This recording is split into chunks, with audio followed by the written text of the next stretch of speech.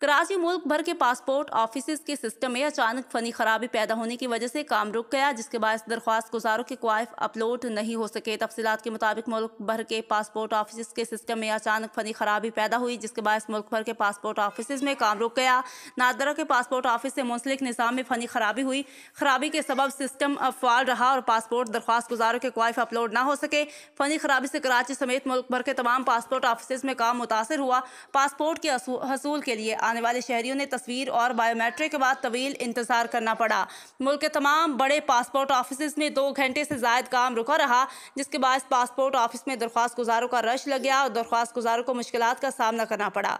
Passport office में biometric और तस्वीर खींचने का अमल मामूल के मुताबिक जारी रहा। जराये के मुताबिक इस्लामाबाद में सिस्टम में खराबी के बाद डाटा अपलोड होने में ताखिर हुई। ताहम हंगामी बुनियादों पर फनी खराबी दूर करने के बाद पासपोर्ट सिस्टम बहाल कर दिया गया।